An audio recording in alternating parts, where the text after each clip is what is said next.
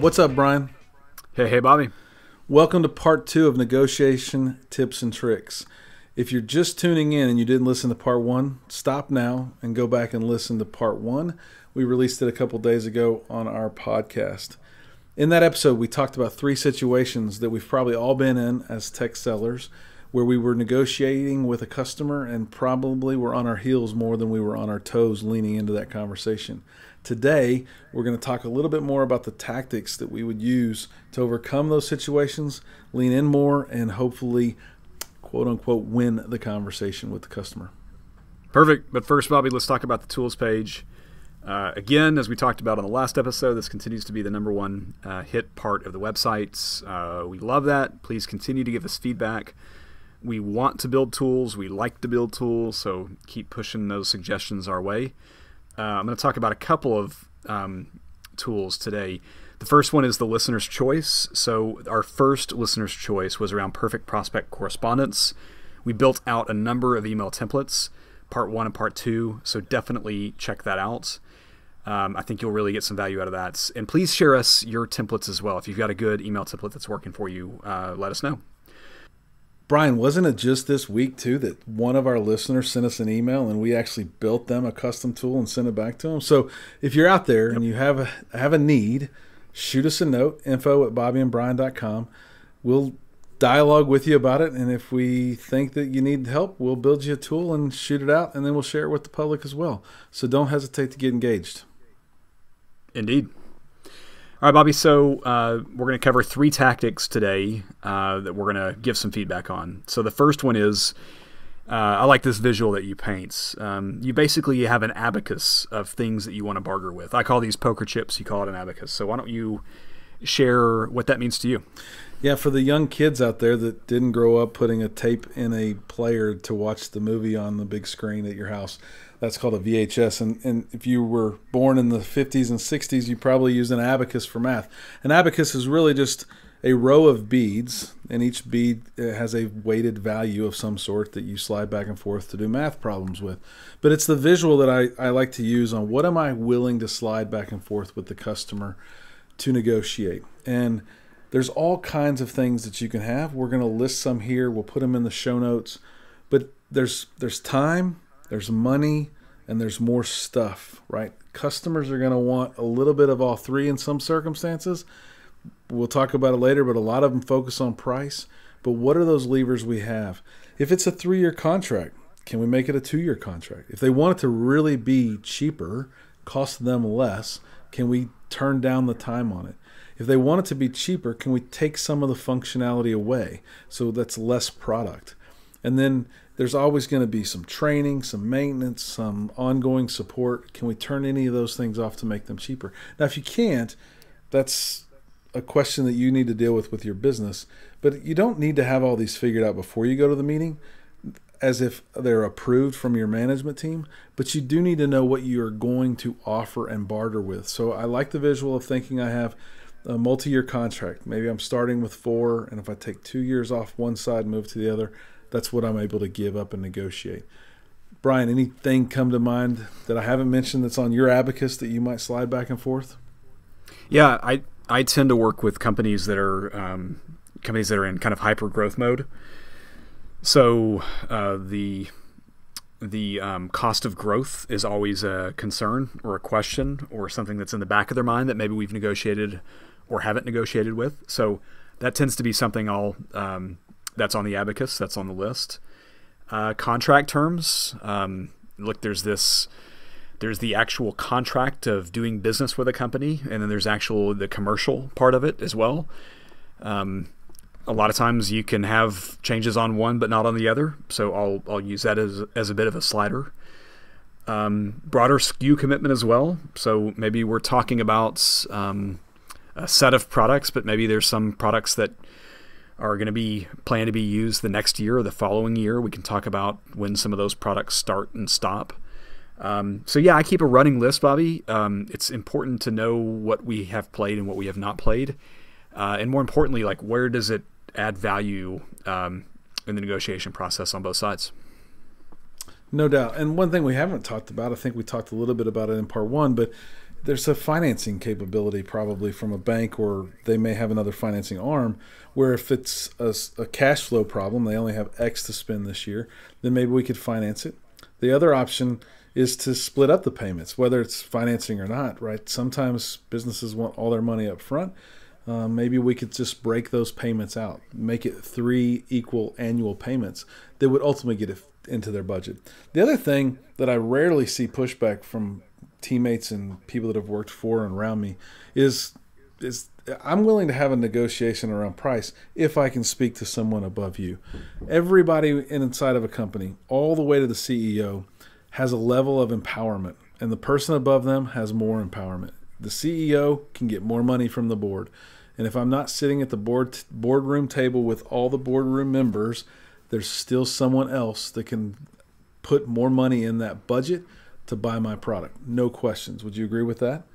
Yeah, Bobby, I completely agree, and I think it's. Um, I try to learn that as early as possible in the um, the sales process. Uh, who's who's got access to the budget? What's the largest deal they've ever done? Um, do they work with a steering committee? I just want to understand all those variables because, to your point, um, it, it's not always necessarily that person that, that is going to be writing the check or signing off on the project. And a lot of times it's going to be the largest project they've ever done. So um, maybe they're not even sure what it needs to route through for approval. So uh, I agree. I want to measure all those things before I get uh, too far down the negotiation process. All right, Bobby. So the second part of this, um, we're, we're deep stage in negotiation. Uh, we've got some gives. What are some things that you ask for on your side? What are some What are some things that you request of them if you're going to be doing a lot of giving? Good question. I think that it's something that very few tech sellers use because they're so they. I think they always see how close they are to getting the deal done that they don't want to slow it down any bit more. But the the obvious one is another year of whatever commitment they're willing to make. It's t- time is valuable in our world technology is changing so fast the competition's out there. I want to be a partner and or vendor to this customer for a long long time. So i would think first and foremost the length of the contract would be one thing that i would start asking for. If if it's not the length of the contract it would be the commitment to the portfolio. Um, go back to our microsoft days. Most customers were either windows customers or office customers or windows and office customers but the future of Microsoft was all those other things Windows Server in the data center, SQL Server for databases. So I would keep trying to get them to, to commit to more of my platform, whether it's the Microsoft example or not. It's more about what my company can do for them so that I can block out some of that competition. I might ask them for a customer reference. Maybe it's a phone call to another customer. Maybe and maybe it's not the right time to do that, but I would say, okay, if this is the last thing we're going to negotiate on or topic that we're going to have, I'll do it if you'll commit to having a customer call with three customers over the first quarter after we implement the project successfully. That that's very specific and specific for a reason because if they just agree to do a customer call, it could be one and done. So I want to make sure that I'm asking for more because I can bet we're going to negotiate on that topic as well, right? And so if I start at three, I'm probably going to get the two that I really want. And if it's not that, maybe marketing has uh, some events that they're trying to get some executives to. I'll get buy in and participation in those events. I might get them to send some of their team members to my global conference, kind of like Dell EMC World coming up in um, the May timeframe in Las Vegas, and get people to the, participate in those events so that they can see and learn more. If they are there, I know I'm going to be able to sell them more stuff. So those are just a few off the top of my head. Yeah, I, have got a couple more, but first, something you said stood out to me. Um, we've we've all been in the position where the asks continue to build and build and build and build, and um, I think what I've what I've become much better at these days is is of course along the way there's going to be asks and changes and adjustments, but when we're in the final stage of negotiations, I want to know exactly what it is we're negotiating over and it's got to be a set list on their side. It, we can't we can't string the requests out again and again and again. That's not a it's not an honest way to do it in my in my opinion. So I want to know what are what what changes, adjustments, what do you want to see happen on contracts, on commercial terms, uh, you know, contract length. I want to know what is what is the full set we're looking at so that I can respond appropriately. But if we're if we're dragging out requests again and again after we've had that quote, kind of final conversation, um, I'm going to come to a stop until we get to the point to where we really are at the final. But a couple other things I'd add to that. Well, one more thing to your point there. That might be the best tip of these two part series is to say if you don't start with that list, you're probably going to lose the negotiations because you are going to get strung along. Because it's kind of like what I said in the earlier part about asking and asking and asking until I got to know. That's kind of setting the precedence that once you share this list with me, that's the list we're going to negotiate, or we're already at no. So that's a great tip. That might be the best thing of this uh, podcast. A couple of other things, Bobby, that I'll mention, uh, but you alluded to several of these. A joint case study. I mean, it, it's a great you know, there, there's some press out there about them growing and changing and about them using our company. It's a great opportunity for us to get some good joint press, so I'll ask for that. I'll ask for executive sponsorship on their side. I want the project to go well for them. In order for it to go well for them, we need to work with executives on their side to support and sponsor the project. Um, favorable contracts. Uh, the cleaner the contracts are, the better the attorneys like that. Uh, that just makes everyone's life better.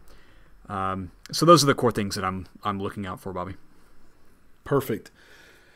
And I think the the final tactic and or set of tips that we have for this conversation is really how to how to get the customer to stop talking about price. We used it in both a situation and in, part one, and we're going to use it as uh, a way to give you guys some tips and tricks. So I don't always think it's about price. I just think that's what we've educated our customers on uh, negotiating with us on. So when they when you meet that first IT director or CIO or someone in IT or the business that just wants to know how much is your product per pound, I, I normally try and put that back on them. What what would you be willing to pay? What do you think it's worth? And that really sets me up for a place to understand what they think the value is that I do bring or don't bring to the table. Um, they, they normally will start with some low ball number, and I, I would start with a conversation about just how much they would value they would get out of those low ball type items. One story that I tell a lot of people when we talk about price is I was negotiation negotiating with an oil and gas company here in Houston towards the end of my time in the field at Microsoft. And it was 2007, 2008, probably the second worst downturn. Well, it was the second worst downturn in my lifetime, probably the second or third worst downturn in oil history was the 2007 2008 timeframe. And the customer said, We're cutting everything. We cannot afford to renew our agreement with Microsoft. And of course, I worked at Microsoft. I thought that was crazy. And we ran the math, and they wanted it to be cheaper and cheaper, and they wanted to remove more product and get cheaper and cheaper. And it was odd. About halfway through the conversation, they offered me a cup of coffee, and we went down to the break room and we got some coffee and we came back and I didn't pay for the coffee and they didn't pay for the coffee. And I asked them to just run an ROI for me on how much their company was paying for coffee. We did a little bit of work on how many divisions they had, how many branch offices they had, and that they paid coffee for everybody in every location 365 days out of the year.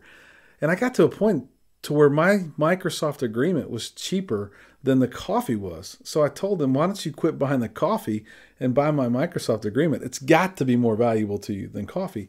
And I think people really forget that there are things that companies are spending money on, like the coffee, that is always negotiable. And, and your product is as well.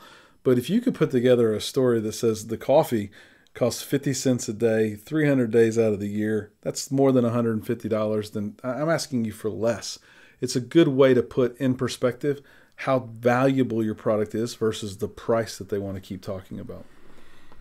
Yeah, I I take a similar approach. Uh, I love that. I love that story. It's a great one. I've not heard that one. I think the, the approach I tend to take, and it's very honest, is um, I, I always tell it as we start an evaluation, is that it is it is my job, it's the account manager's job, it's our solution consultant's job to show you why our products can deliver a strong ROI and help you grow your top line revenue and not grow your back office, um, which will help our products pay for itself.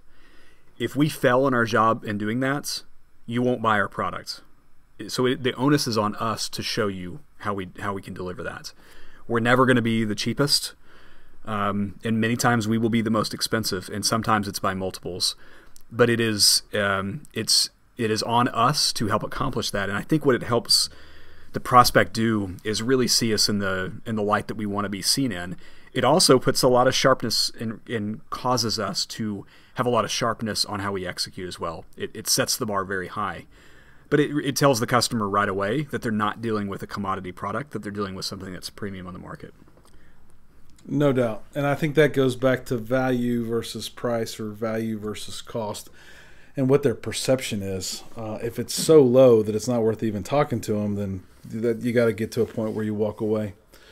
So yep. something we were going to tease in part one and we didn't, but I'd like to wrap it up with today in part two is what I think is the most important part of all of this. And I've had this question about negotiation come up a few times. And people always think that I'm skilled and talented, have that that that gift to gab, and that's why I'm so good at this. I don't believe that. I actually argue that because while I am pretty good at gabbing, it's the practice that I've put in. Brian, how much do you practice your ability to be a triathlete? Uh, dozen hours a week, probably. A dozen hours a week, and is that like yeah. walking fast somewhere, or, or would you consider those dozens of hours a week like pretty much at your threshold? I'd say many of those hours are close to threshold. Yeah, and I have a couple hobbies, golf and flying, and, yeah. and I practice them both. I, I spend a lot of time on the driving range. I spend a lot of time thinking about flying, and I spend a lot of time in the plane to get better. I actually might go fly in the dark tonight to get some of my night recency done. But the, the three things that we're most passionate about outside of family and our religion, it really does take a lot of practice. And if you're a pro, you got to practice. Uh, I, I, used to use a Tiger Woods analogy all the time, and it may, he may be coming back to help me use it again one day. But it is how many times does Tiger Woods, the the the almost greatest golfer in the world all time, spend still practicing? A lot. Um, I spend a lot of time practicing my talk tracks for negotiations with customers. I don't go into a meeting without being very well prepared. My moleskin's full of little notes and ideas. I've got a list of things that I'm willing, a full abacus of things I'm willing to give and take and um, negotiate on so that we can get to a mutual win win. But this does take practice. If you don't have somebody to practice with, shoot us a note. I'll spend some time practicing with you. But at the end of the day, if you want to be a great negotiator, I think it all starts with practice. How do you practice your negotiations, Brian? Well, it's um, as I mentioned in the previous podcast and on this one. I, I keep a running list of everything we've done throughout the evaluation, and then I put that into a presentation. And that work alone helps set me up with um, where we're at today, what chips we have left on the table, and then I and then I work on the small things because the small things multiply. It's it's it's not overdressing. It's not rushing it. It's allowing silence in the room. It's not piling on points in the room. It's ensuring that when we have that final negotiation meeting that we keep it a small room. It's th- those are all planning pieces. Those are all uh, things that I'm very uh, deliberate about, um, and it leads to greater success. Um, obviously, the what is it, the hundred thousand meeting thing? Um, you know, the more meetings you're in, the better you get at it. But none of those things overcome uh, great practice. For sure. So, no excuse for practice. Unless you're striving to be average, which we're completely against, you have to practice. And I just gave you an out to call me or shoot me a note, and I'll practice with you. Uh, we'll make you a better negotiator. So, if you like this format, or if you don't like this format, we would love to hear your feedback. Either post it in the comments on our website or shoot us an email at info at bobbyandbrian.com. We will follow up and I'll say thanks in advance. So, as we wrap up, as always, until next time, average is the enemy. Thanks everyone for listening. Have a great week.